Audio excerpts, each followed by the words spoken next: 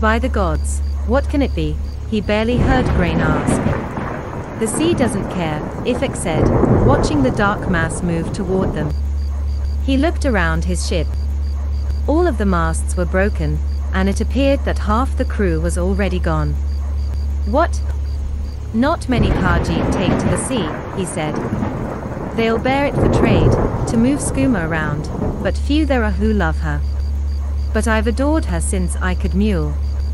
And I love her, because she doesn't care what the gods or Daedra think. She's another world, with her own rules. What are you going on about? I'm not sure, he admitted. I feel it, I don't think it. But don't you think, doesn't it feel like? He didn't finish.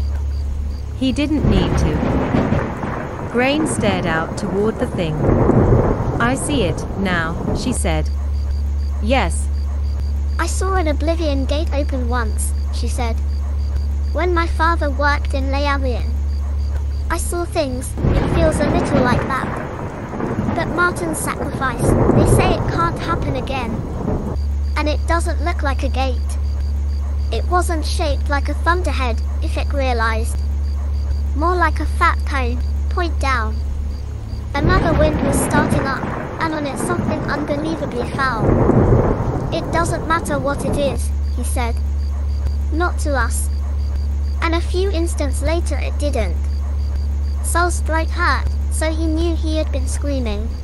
He was soaked in sweat, his chest ached, and his limbs were trembling.